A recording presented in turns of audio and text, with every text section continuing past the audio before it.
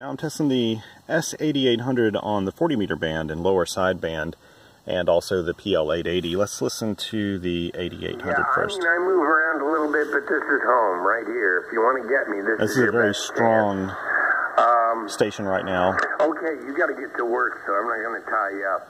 And let's see here what the uh, PL880 sounds like. We'll, uh, we'll look for you in the near future, and I'll be interested in how your projects go, Glenn. You have a good day. It's been enjoyable. KW4TO, this is K2YN.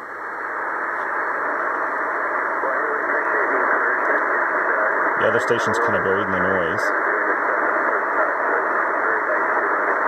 Let me move back over here quickly before they leave. See how he pops out on the 8800? And uh,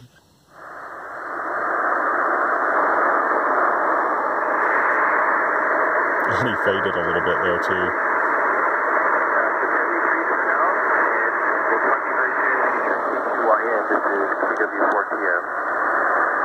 Okay, we'll be looking for you, Glenn.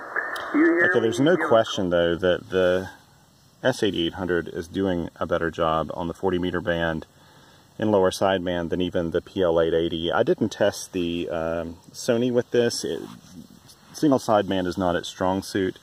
Uh, the PL880 um, outperforms it, I believe, most of the time on single sideband. But really, this thing, Three, but I didn't get the whole Sounds call. Great. and it's easier to operate than the PL880 on single sideband, I believe, just by a little bit. Um, audio sounds a little bit, uh, sounds better, of course, on the 880. But it also has a lower noise floor, and signals just seem to pop out. Pennsylvania. How you doing? I'm pretty good. You, you're part of I'll put it back over here one more time. I know the Talk to Tiny Phil, yeah. about 15 or 18 miles above the 27. That would give you sort of a little idea, you know, where I'm at. And I've been, been talking to California. Um, Oh, whoops, I turned it off. I do this all the time. your mono band loop. I'm feeding it with coax down the, uh, on the quarter wave section. And the fine tune is right here. It sounds a little warbly when you move it around. Wire. And I'm feeding it with the homebrew 600 ohm open wire feed line.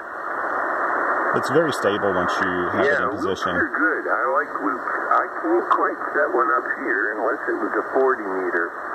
And I ended up getting very good Anyway, that's the Tecsun S8800 on the 40 meter band.